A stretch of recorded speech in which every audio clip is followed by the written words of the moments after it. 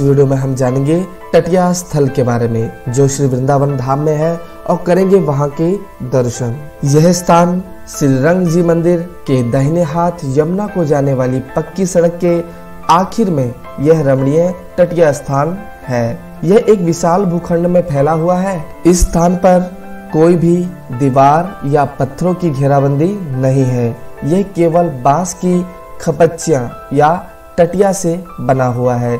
इसलिए इस स्थान का नाम तटिया स्थान पड़ा।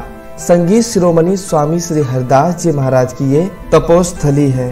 यह एक ऐसा स्थान है, जहाँ के हर वृक्ष और पत्तों में भक्तों ने राधा कृष्ण भगवान की अनुभूति की है। संतों की कृपा से राधा नाम पत्ती पर उभरा हुआ यहाँ देखा जा सकता है।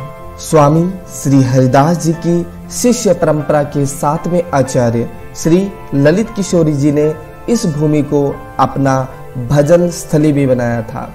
उनके शिष्य महंत श्री ललित मोहनदास जी ने इस स्थान पर ठाकुर श्री मोहिनी बिहार जी को प्रतिष्ठित किया था और इस स्थान के चारों ओर बाँस की टटिया लगाई थी।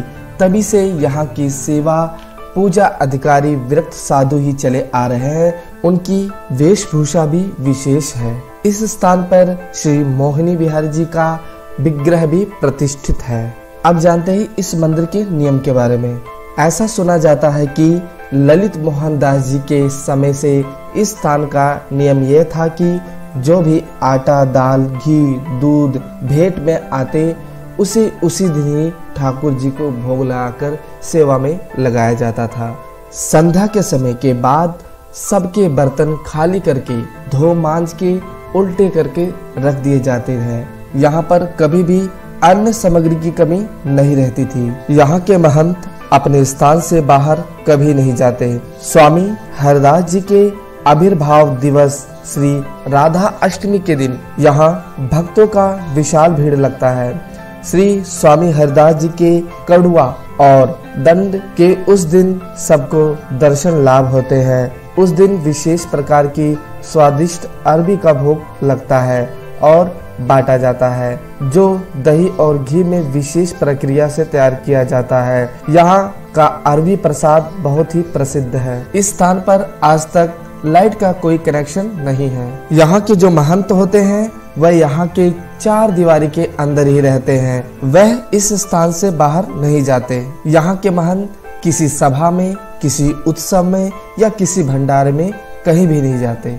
यह स्थान यमुना के किनारे बसा हुआ है। यहाँ के साधु लोग भगवान की पूजा पाठ करते हैं, भजन कीर्तन करते हैं और सदाचार से रहते हैं। इस स्थान के बिल्कुल बगल में परिक्रमा मार्ग है और सामने यमुना नदी बहती है। इस स्थान पर बहुत ही शांति है। यहाँ की पेड़ों और पत्तों पर श्री राधा नाम और भगवान के बहुत से स्वरूपों के दर्शन होते हैं। ये बहुत ही सुंदर और दिव्य स्थान है। कभी भी आप वृंदावन जाए तो इस स्थान का दर्शन ज़रूर करें। तो आज के लिए बस इतना ही। जल्द ही मिलते हैं एक नई वीडियो के साथ। तब तक आप खुश रहें, आनंद में रहें, भगवान का भजन करते रहें। जो ये वीडियो आपको अच्छी लगे तो इसे लाइक ज़रूर करें। आगे से आगे शेयर करें। आपका कोई भी सुझाव हो तो हमें नीचे कमेंट बॉक्स में कमेंट करना बिल्कुल भी ना भूलें।